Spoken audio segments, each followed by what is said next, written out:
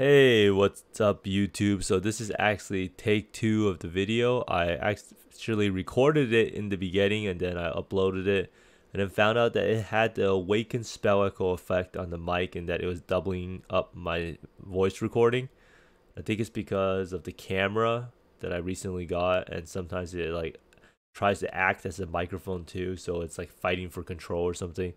I have no idea but anyhow this will be the second time going through it so it will be a lot more laser focused now that I know what I want to talk about. But basically, in the recent days, I have swapped back to Penance Brand after trying out Blade Vortex for a bit.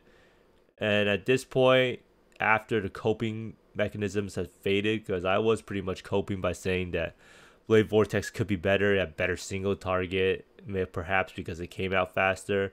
It had maybe better clear because of the explosion chains in AoE. But in the end, after coming to my senses and playing Penance Brand again, it is just not true.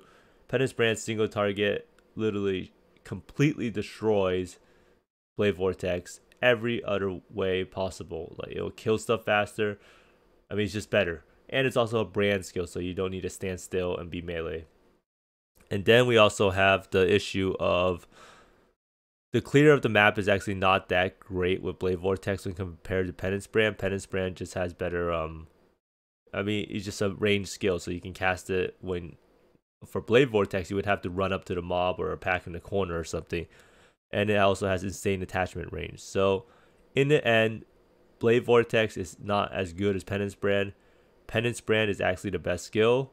It's the best overall skill for aura stackers in terms of beginning, the middle, the end and forever until something changes with the skill or yeah.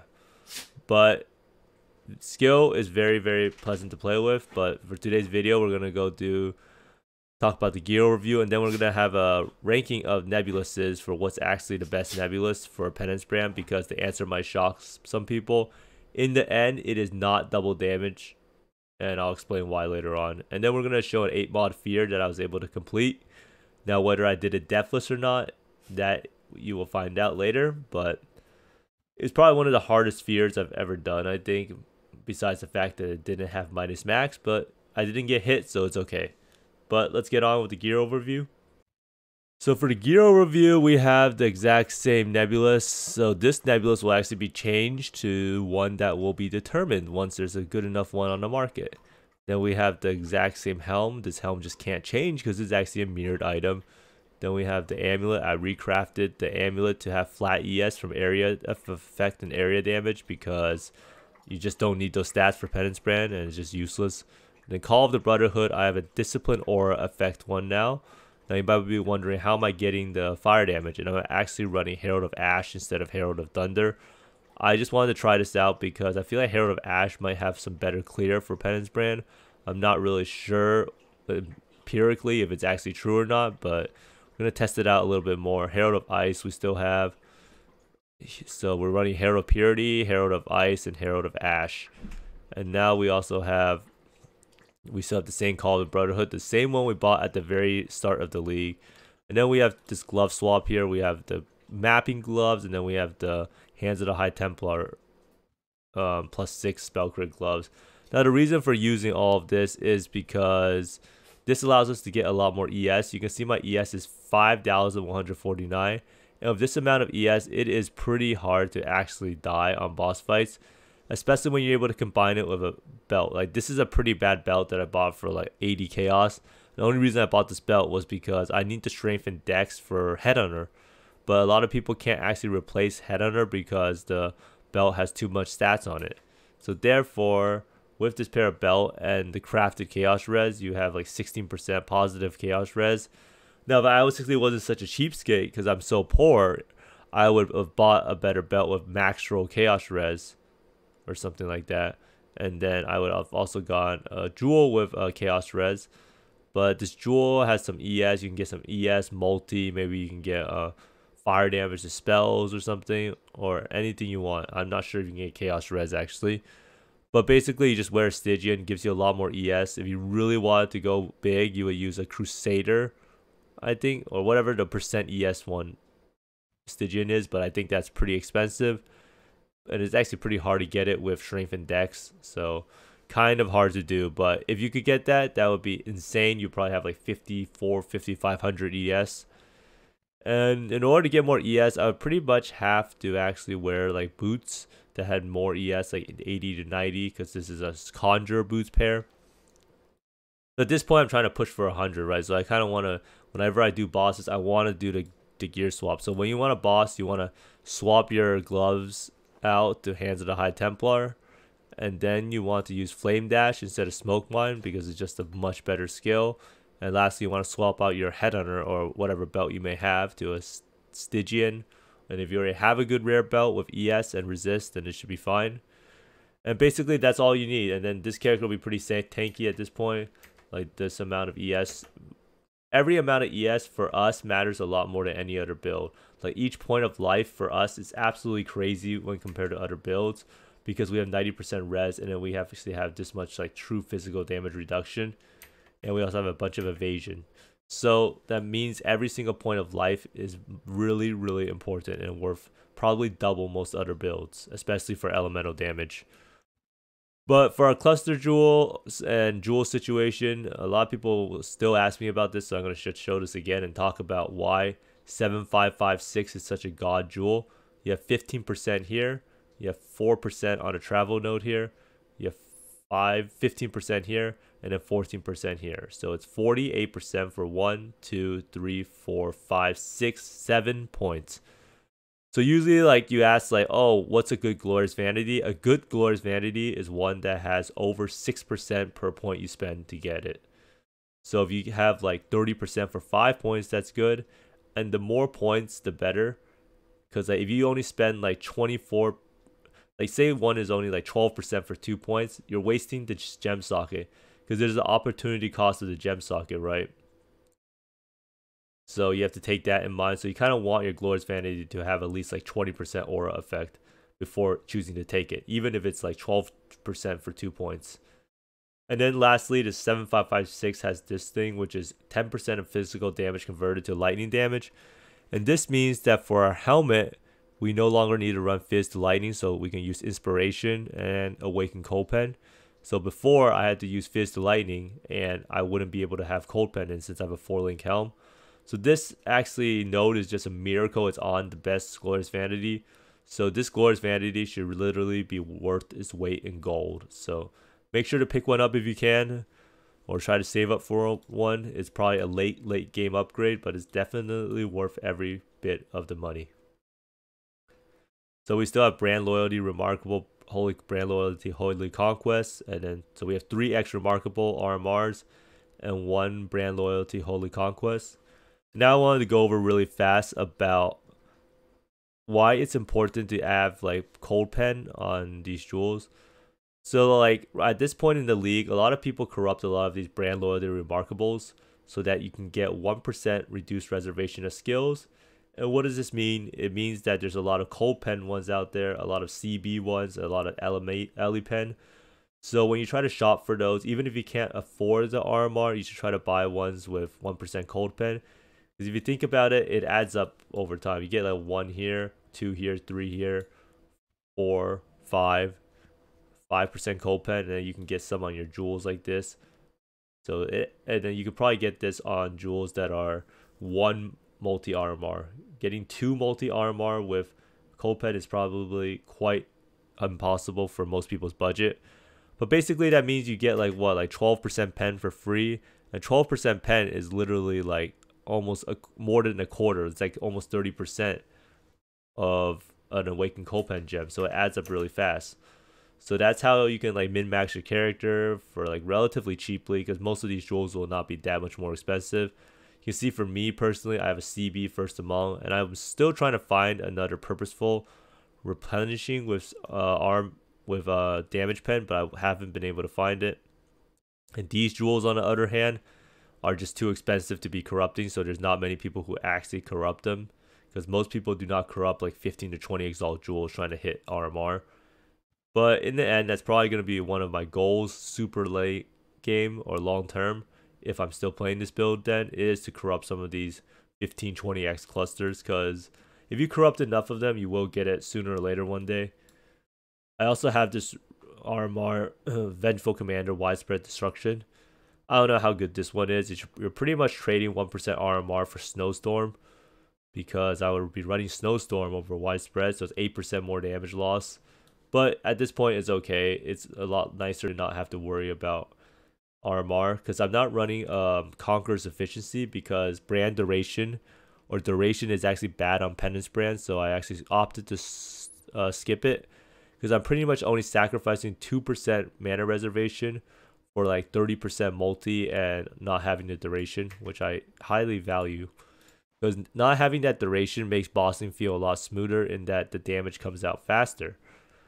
Now, on the topic of bossing, we will talk about now the Nebulis. This item is always like such a point of contention because there's actually so many different variants.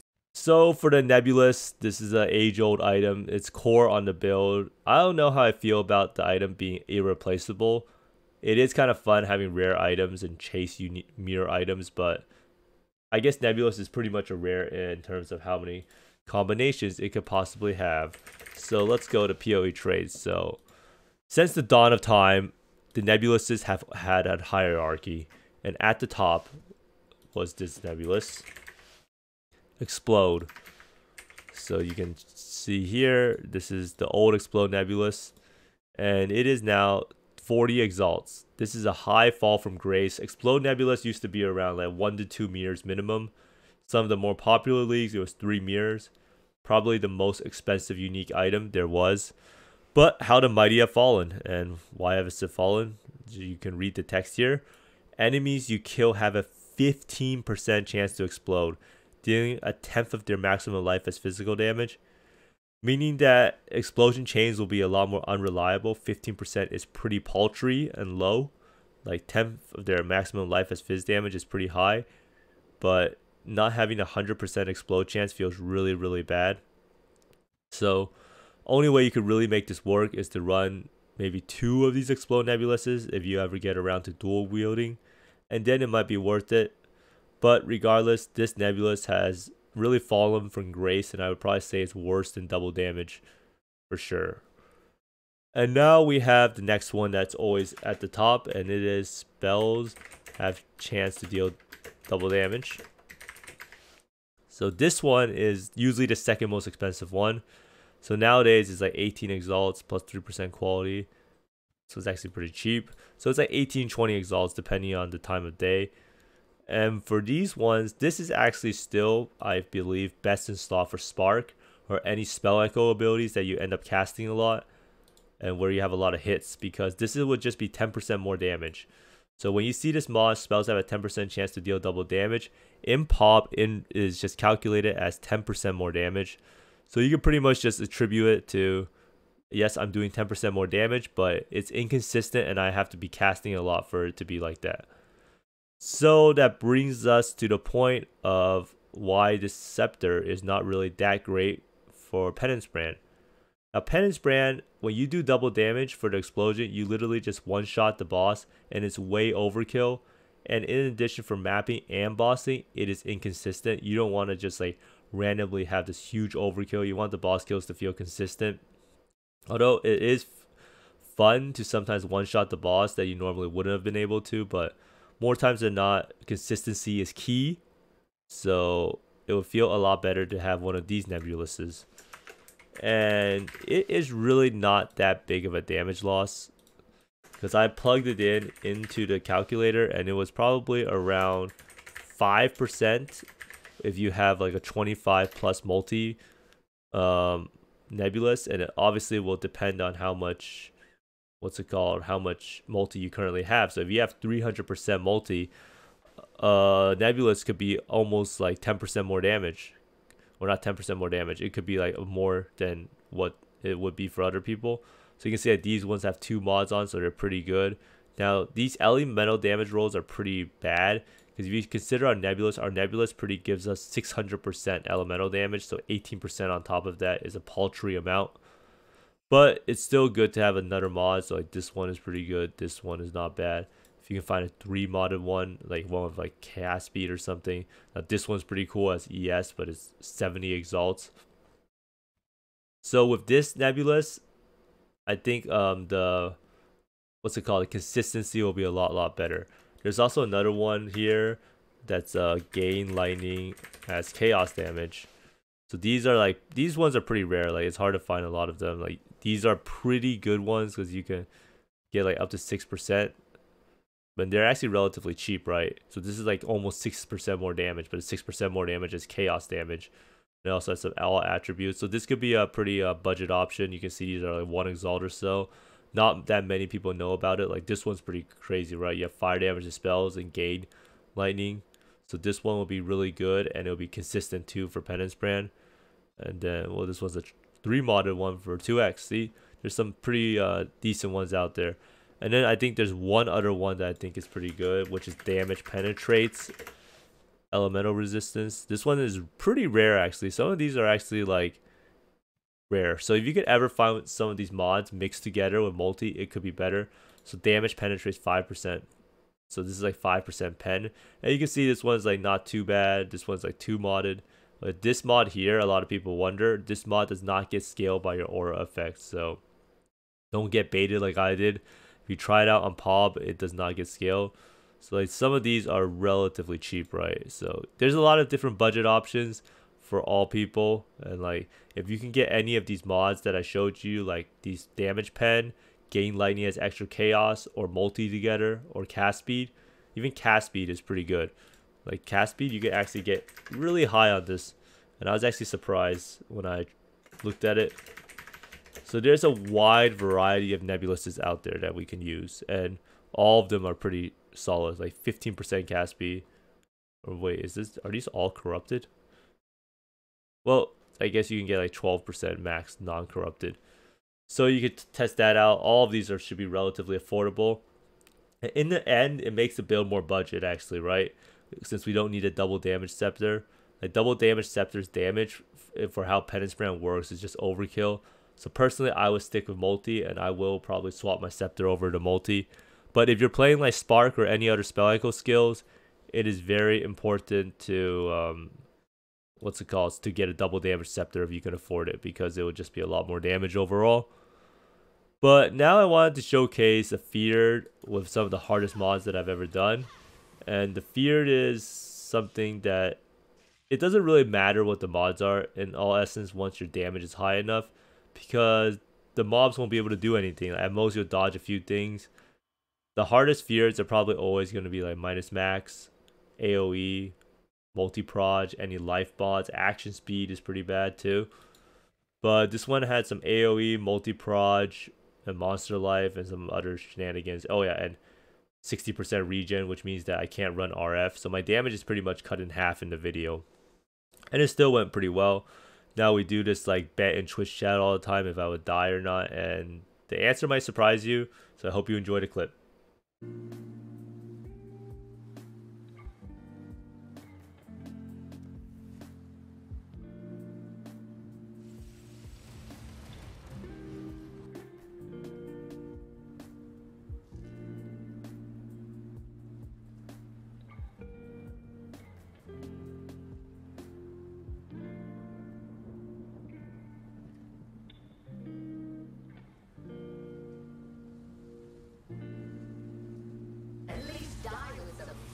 Yeah, I don't know who it is. A bunch of random dudes everywhere.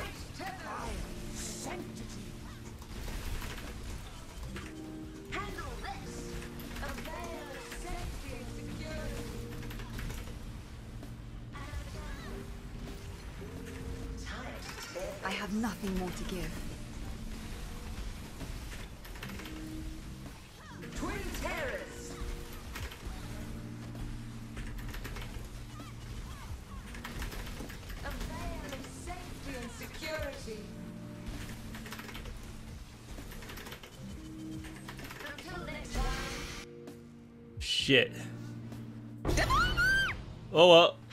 The doubters lost. Or anyhow, I hope everyone enjoyed that deathless kill. It was pretty solid, pretty good. Like I was actually surprised it went so well. Not being able to run RF, then having monster life and multi-proj and AoE. A lot of times the fear just comes down to what comes out first. The fight can actually vary so much in difficulty If you get like the synthesis mob first, that thing takes forever to kill, and then other stuff comes out. It's just a nightmare. And then Chayula sometimes, if you have bad chaos res, just like completely destroys you. But that's why we have the bossing belt, and I highly recommend people who want to level and they aren't doing five ways to um, buy a bossing belt, get a different glove setup, and you should be a lot better. And make sure to swap the movement skill from Smoke Mine to Flame Dash. Smoke Mine is not good at bossing. It is the best mapping skill for movement, but Flame Dash is king. It comes out so much faster while doing boss fights. Now I stream every day on Twitch, and I'll probably be trying to level up this character to 100 and then I will be trying to do these things called blood filled vessels. So I kind of want to try to get my own mirror. Saw few people get it, but I honestly believe it's fool's gold. By the time you get the mirror, you're probably going to go broke. But I don't know. I got pretty lucky yesterday. I actually, when I recorded the video, I actually had a Paradoxica I sold for 20x, and I had a Bottle Faith I sold for 13x. And then I had a Watcher's Eye I sold for 18x. And that's pretty much what I got yesterday. Oh, and I had another Watcher's Eye that I sold for like 6x. And those were from Watcher's Eyes that I got from Samurai's Eye card from the Inscribed Ultimatum. So pretty lucky day yesterday. And that's also something to keep in mind while playing PoE is that some days you just will find a lot more currency, so don't get discouraged. If you keep grinding away, you will have those outlier days where you find like a Awaken multi-strike or Awaken cast on crit. And then you can find like some other stuff. You'll find a Trial Master drop a Hate Forge gloves, then you find a Headhunter. maybe not to that extreme, but generally PoE is a game if you're not doing like consistent crafting where a lot of your currency will come in spikes from a expensive item. Although it's a lot more consistent nowadays with the Atlas passives. But, but I'll be farming more Betrayal tomorrow. Um, and then trying to get 100 and we'll see what happens. Or today because this is my second time recording it. But anyhow, everyone, thanks for watching, and I hope you find more mirrors than I do. And if you like the content, be sure to like and subscribe. And see you later, and see you next time.